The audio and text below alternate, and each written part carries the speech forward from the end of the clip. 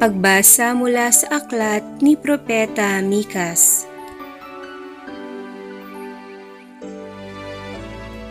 Mga taga-Jerusalem, tipunin ninyo ang inyong mga hukbo sapagkat kinukubkub na tayo ng mga kaaway. Sinasalakay na nila ang pinuno ng Israel. Sinabi ni Yahweh, Bethlehem Ephrata, bagamat pinakamaliit ka sa mga angkan ng Huda, ay magmumula sa iyong angkan ang isang mamumuno sa Israel. Ang kanyang pinagmulan ay buhat pa noong una, noong unang panahon pa. Kaya nga, ang bayan ni Yahweh ay ibibigay niya sa kamay ng mga kaaway hanggang sa isilang ng babae ang sanggol na mamumuno. Pagkatapos, ang mga Israelitang binihag ng ibang bansa ay kanyang ibabalik sa kanilang mga kababayan. Pagdating ng pinunong iyon, pamamahalaan niya ang kanyang bayan sa pamamagitan ng kapangyarihan ni Yahweh sapagkat taglay niya ang kadakilaan ng pangalan ni Yahweh na kanyang Diyos.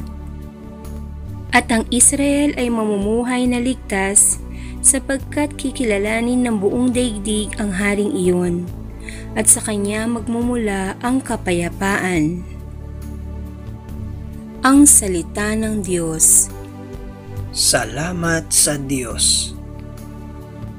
Pagbasa mula sa sulat sa mga Hebreo.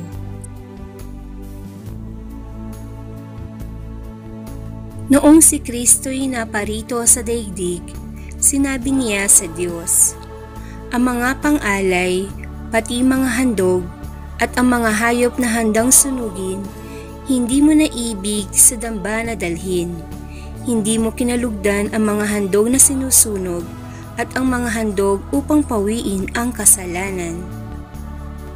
Kaya't inihanda mo ang aking katawan upang maging handog. Kaya't sinabi ko, Ako'y narito, O Diyos, upang sundin ang iyong kalooban, ayon sa sinasabi ng kasulatan tungkol sa akin. Sinabi muna niya, hindi mo ninais o kinalugdan ang mga alay at handog na hayop, mga handog na susunugin, at mga handog dahil sa kasalanan, kahit ito'y inihahandog ayon sa kautusan. Sa kanya idinugtong, Ako'y narito upang sundin ang iyong kalooban. Sa ganitong paraan, inalis nga ng Diyos ang unang handog at pinalitan ng handog ni Kristo at dahil sinunod niya ang kalooban ng Diyos, tayo ay ginawang banal ni Heso Kristo sa pamamagitan ng minsanan at sapat na paghahandog ng kanyang sarili. Ang Salita ng Diyos. Salamat sa Diyos. Ang mabuting balita ng Panginoon ayon kay San Lucas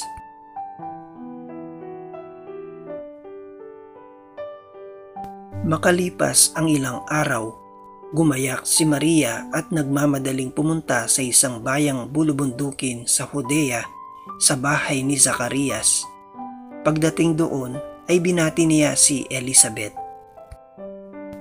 Nang marinig ni Elizabeth ang pagbati ni Maria, biglang gumalaw ang sanggol sa kanyang sinapupunan at siya ay napuspos ng Espiritu Santo. Napasigaw siya sa galak Pinagpala ka sa mga babae at pinagpala rin ang dinadala mo sa iyong sinapupunan. Sino ako upang dalawin ng ina ng aking Panginoon sapagkat pagkarinig ko ng iyong pagbati ay gumalaw sa tuwa ang sanggol sa aking sinapupunan. Mapalad ka sapagkat sumampalataya kang matutupad ang sinabi sa iyo ng Panginoon ang mabuting balita ng Panginoon.